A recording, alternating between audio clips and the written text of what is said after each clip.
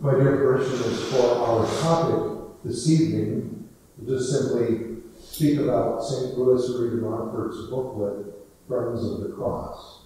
You've never read it, this really is a must read for traditional Catholics of our time.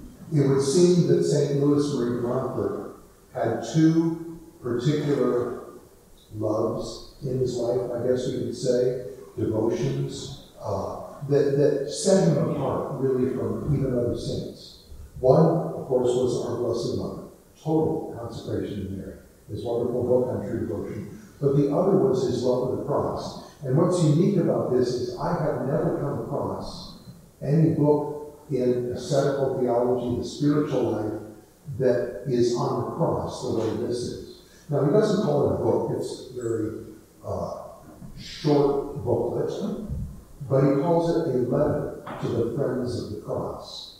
And of course, St. Louis Marie Montfort was a domestic missionary in northwestern France where he traveled around from diocese to diocese, parish to parish, and gave parish missions. But he had enemies who were always trying to undermine his work. And they were Jansenists, or at least influenced by Jansenistic ideas, Jansenistic teaching. And they looked down upon piety, processions, things of that nature, and they particularly detested him. And so on one occasion, and this probably wasn't the only one, there was a mission set up. The bishop of the diocese approved it. Everything was set. When he got there, he was told the bishop changed his mind, and he was forbidden to preach in that diocese. Well, his enemies got to the bishop, undermined. And so, he had already traveled, and couldn't just turn around and go back. He decided he would make a retreat. And during that retreat, he wrote this booklet, what he calls his letter to the Friends of the Cross. He was forbidden to preach, but he wasn't forbidden to write to the Catholics. And again, it's a wonderful booklet that brings out the value of the cross. He starts off by talking about the fact that there are two roads, we might say, in life. Remember how the apostles asked our Lord once, Are few saved? And he didn't answer the question directly. He said, strive to enter by the narrow gate. For wide, wide is the way, broad is the path that leads to destruction, and many there are who go that way.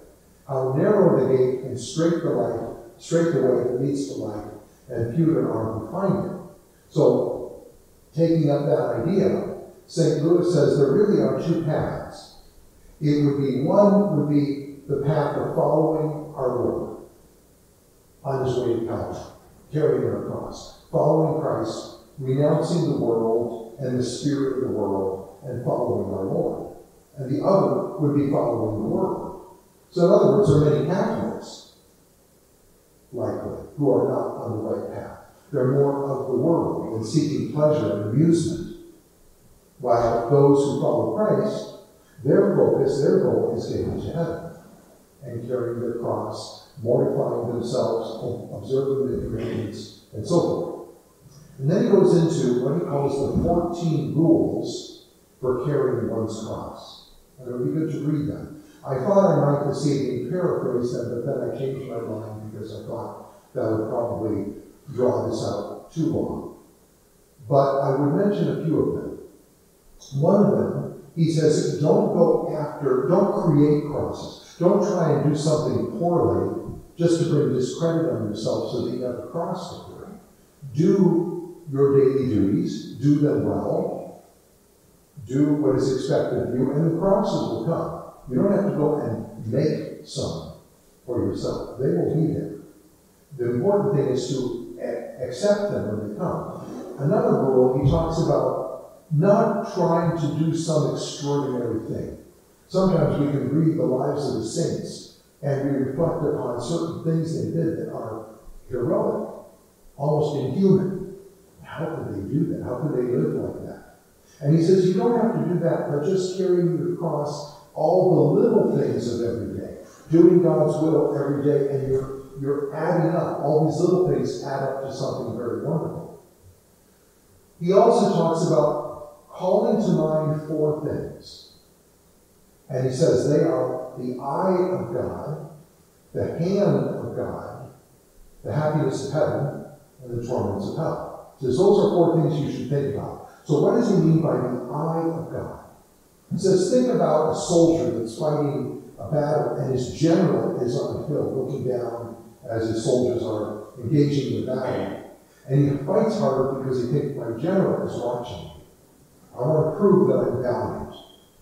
And so God beholds us, carrying our cross, struggling with our daily trials and so forth.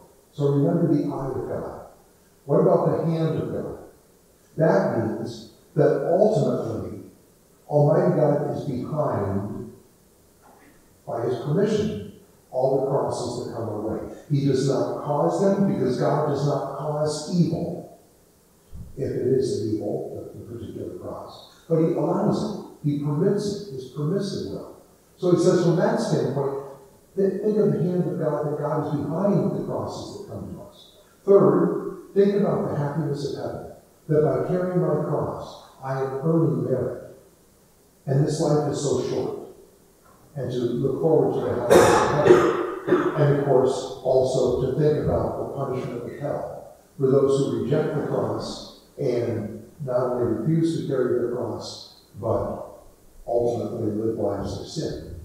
So he says those are four things to consider. But as I mentioned, there are actually 14 of these rules, and it would be good to read them he takes the quote of our Lord, If thou wilt be my disciple, deny thyself, take up thy cross and follow me. And he spends paragraphs explaining that word for word, phrase for phrase. So it is important to reflect upon. But one last thought I want to mention is a little poem in this. And it's interesting because we have this required reading for our juniors. And when they do a book report on it, they usually all comment on this. And it's something that I remember uh, you know, by heart, is a little poetic phrase, just like the one stanza. And it goes like this. He says, Three crosses stand on Calvary's height. One must be chosen, so choose aright. Like a saint you must suffer, or a penitent thief, or like a reprobate in endless grief. And it's really a clever little poem that brings out a very profound truth.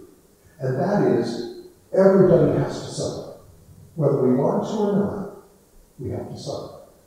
Now, those, especially who are in the healthcare profession, are aware of the that there are many people in hospitals or suffering who are angry, who are not resigned at all to their suffering. They're wasting the suffering. They're angry at God. They're complaining, etc. It's a lot of wasted suffering in the world. So we all are going to suffer in different ways at different times in our lives. How do we carry that cross? We could be like our Lord. The, the, the middle cross, of course, our Lord, the saint of saints, reminding us that embracing the cross, and we look in the lives of the saints, and they even wanted to suffer because their love for God was so much they wanted to suffer. They wouldn't say they enjoyed it, but they chose it because they knew its value. They would be like our Lord in the middle. Well, to our Lord's right was the penitent thief. And he knew that he deserved his punishment, his death, his execution for his crimes. He even said to his companion on the other side of the road, he said, We suffer justly for our deeds, but this man has done no evil. So, our Lord's example turned him to the point where he died penitent and accepted with resignation his, his death, his sufferings. So that second cross would symbolize those who don't want to suffer, but they accept it in resignation to God's will. But then the third cross, of course, of the impenitent thief, would signify those who reject the cross. They are angry, they don't bear the cross, at least with patience and striving for resignation. They, they reject it. They're angry at God and ended up going from the frying pan into the fire, literally, from sufferings of this life to everlasting suffering, because they fail to realize the value of the cross and they reject the cross. And they lose all the merit that they could gain. So during Lent, as we take upon ourselves various penances and sacrifices, let's reflect a little bit on the value of the cross. Our Lord chose to suffer. And as St. Louis says, if there was anything better, more perfect, better for our salvation, he would have done it. But he chose the cross. He chose the suffering. And he wants us to be united with him. If thou wilt be my disciple, deny thyself, take up thy cross, and follow me. And so this is really the path of a true Christian. And one last thought, as St. Louis says, can you imagine the incongruity of a head crowned with thorns and suffering, but the members of the body are resting on pillows, wanting to be comfortable. And he's, of course, talking about the mystical body of Christ. Christ is the head of his mystical body. We are the members. And if he who is our head suffered, suffered throughout his life and died on the cross, can we choose a different path? The disciple is not above his master. We must imitate him. We must carry our cross because he is our path to heaven.